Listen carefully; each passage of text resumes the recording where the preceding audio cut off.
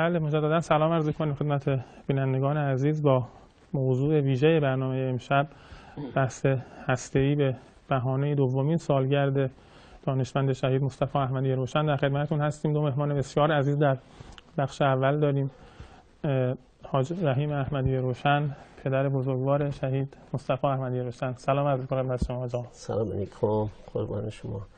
منم سلام عرض می‌کنم خدمت بینندگان عزیز.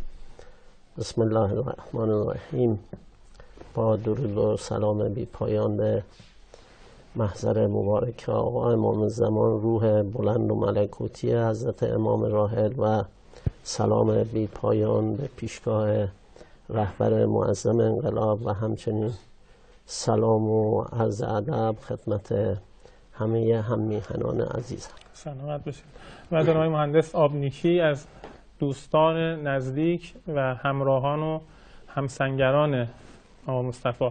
سلام عرض می‌کنم خدمت شما مهندس. رحمت الله. منم خدمت شما همه همکاران محترمتون که توی برنامه زحمت می‌کشن و بینندگان محترمی که امشب برنامه رو نگاه می‌کنن. عرض سلام و ادب و احترام دارم. خیلی این تشریف آوردید در برنامه سریا ما امشب زیاد مزاحم های مهندس آبنیکی خواهیم بود. اما ابتدای برنامه رو برای اینکه متبرک بشه به حضور خانواده شهید و انشالله که خود شهدا هم همه شهدای علمی ما انشالله امشب حاضر و ناظر باشن در برنامه ما. متبرک می‌کنیم به حضور حاج آقا. ما سال گذشته خدمت حاج خانم بودیم. امسال گفتیم که در خدمت شما باشیم حاج من برای اولین سوال ارز کنم خدمتتون دو سال گذشته از 21 دی سال 90 حدودا دو سال گذشته. می‌خوام به عنوان یک پدر اول پرسم که این دو سال چجوری گذشته برای شما و در کنار اینکه می‌بینید حالا جوان هایی که خب نگاهی به احمدی روشن دارن و خیلی یک شور و حرارتی ایجاد کرد اون شهادت که خیلی از در دانشگاه دانشگاه شریف گفتن ما می‌خوایم بریم این راه ادامه بدیم اینها. در حال این یک روی سکه است یک روی سکه خانواده است. از دست دادن یک جوون سی و دو ساله. چه گذشت شما در این دو سال؟ بله. بسم الله الرحمن الرحیم.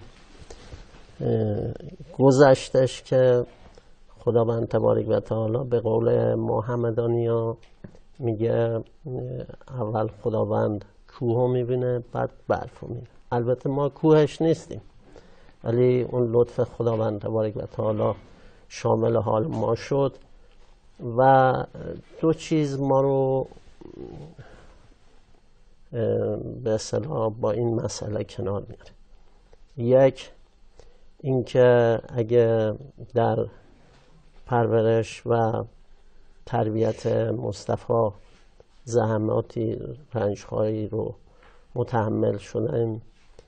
به لطف خداوند خداوند اینجوری حق ما رو ادا فرمودن و شهادت رو نصیب مصطفی کردن. دوم اینکه همچنین مصطفی اینجوری در راه به هدف رسیدن این صنعت و خدمت به این مردم زحمات بیشایبه رو متحمل شدن با این لطف خداوند تبارک و تعالی زحمات ایشان بی نتیجه نمان که میفرما ان الله لا یضیع اجر المحسنین.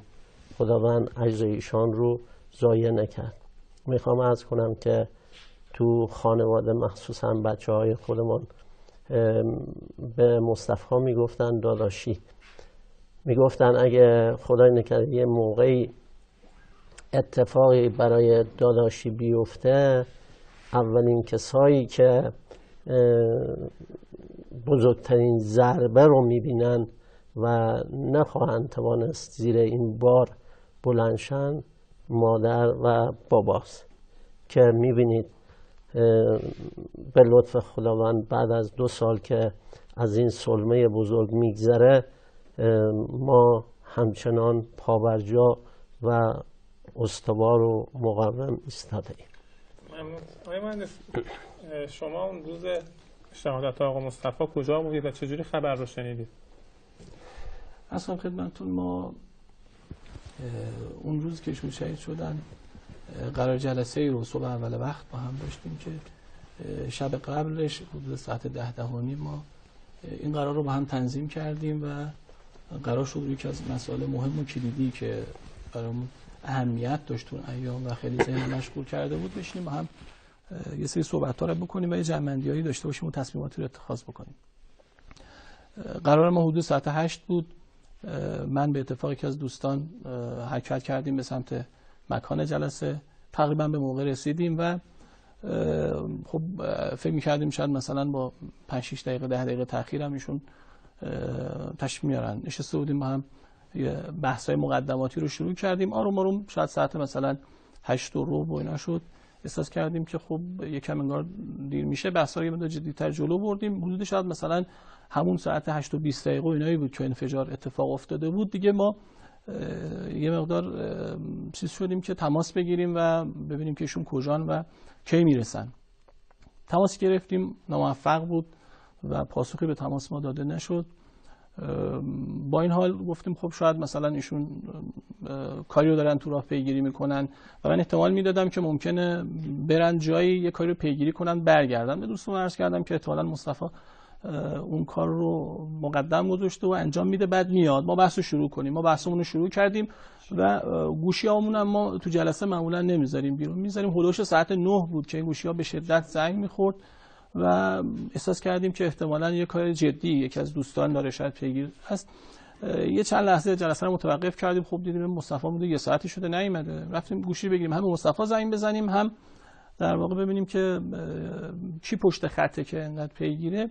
اولین تماس رو در واقع من جواب دادم. یکی از دوستان پشت خط بود. با یه حالت استرابی گفتش که از مصطفی خبر داری؟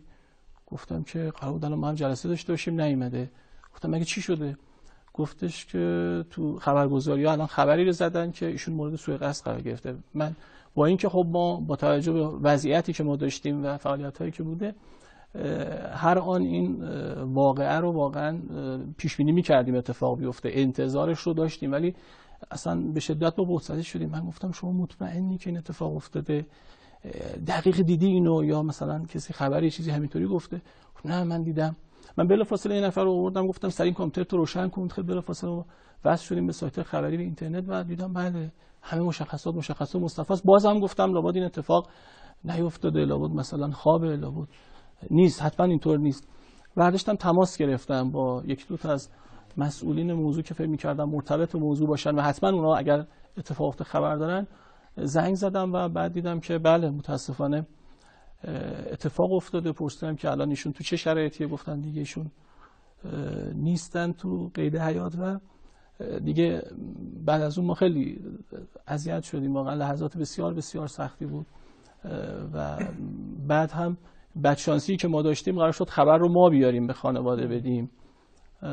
به خانومشون. خب من می‌دونستم چقدر مصطفی مورد ارادت خانواده هست چقدر اینا علقه دارن به هم دیگه. پدرشون مادرشون ارتباط دیده بودم تماس تلفنی ایشون رو ما خانم والده رو دیده بودیم حضوری و میشناختیم.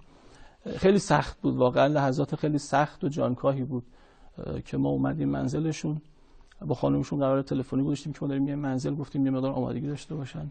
و من احساس کردم ایشون یه مقدار خبری شنیده خلاصه. با سختی خیلی جدی اومدیم منزل و آروم آروم خبر رو منتقل کردیم و بعدم دیگه حاج آقا و دیگران اومدند و حالا شما به نظرتون به عنوان یک یک پدر یکی از شهدای علمی کشور از مسئولین چه انتظاری دارید؟ یعنی فکر می‌کنید حالا هم مسئولین در حوزه هسته‌ای هم مسئولینی که بحث حقوق هسته‌ای ما رو دارن پیگیری می‌کنن انتظارتون چی هست؟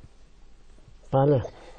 می‌خوام از کنم که اگه در جریان باشن یکی از نیروهای کلیدی که باعث شد تقریبا این صنعت به این حد برسه. مصطفی و بقیه دوستان و بقیه شهدا بودن.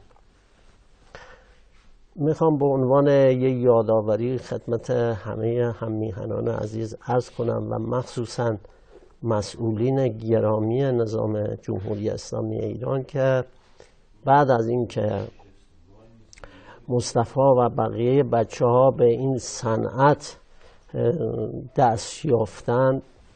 یکی از فامیل های ما از مصطفی می‌پرسه که این غنیسازی مثلا سه و نیم درصد و اینا رو تا حالا هرچی کم یا زیاد برای چی تانه